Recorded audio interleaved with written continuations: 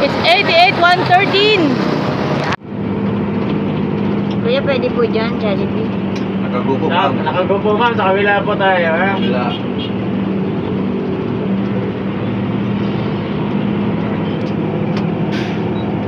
At least, malapit-lapit ka na. Ah, dito po, banda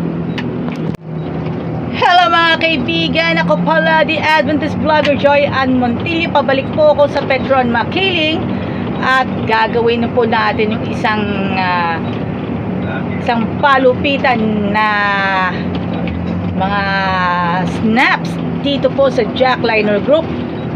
Okay, kung na mapansin po natin si Zadel Fernandez. Hi. and Raymond Subrian for the very very first time.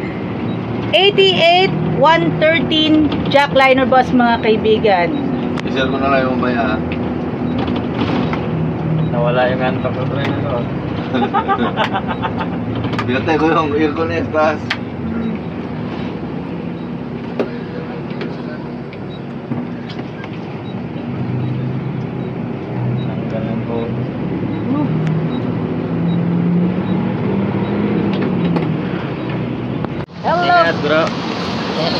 Thank you very much.